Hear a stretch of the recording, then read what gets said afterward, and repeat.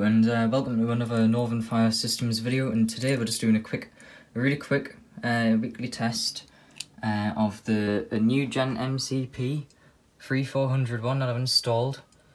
Uh, it's pretty neat and it's one of the best installs I've done because it's properly on there and then we've just got the 34770 up there for now. So I'll do is I'll quickly put the key and sound them and then go and uh, it, but this is always a pain to do. Right, keys up there, so three, two, one.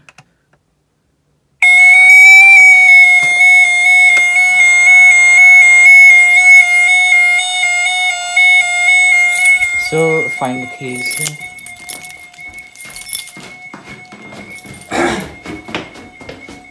Silence the alarm.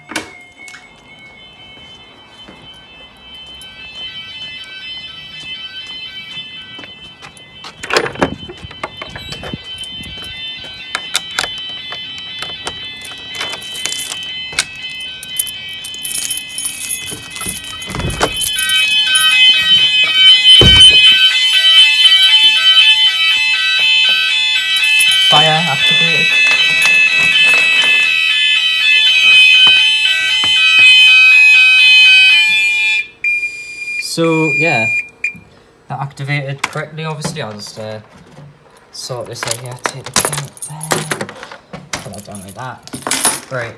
Um. So until this is on the wall, obviously it'll be a lot harder to open the door, but I've just got it here for now. But uh, yeah, that's um MCP activated on number 14 and loop 1 and uh, that's about right it's working um, as it should so I'm just going to quickly I'll have to reset the panel. Um, so what I'll do is uh, the call point should technically be reset so.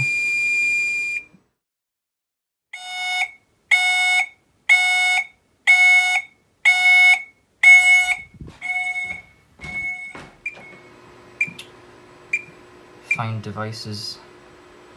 Uh, I'll do loop one device one. So device one is this. You can see it's identifying, and device two is this. Device three is the three four seven seventy on loop one. So if I click next to go to, oops. If I click next to go to device uh, two, should sign that.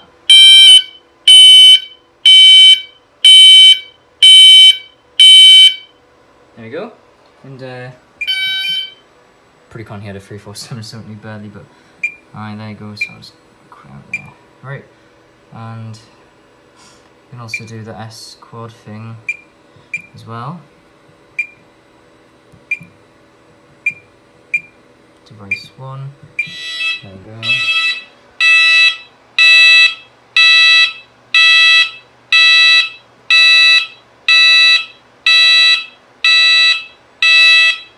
That's pretty cool.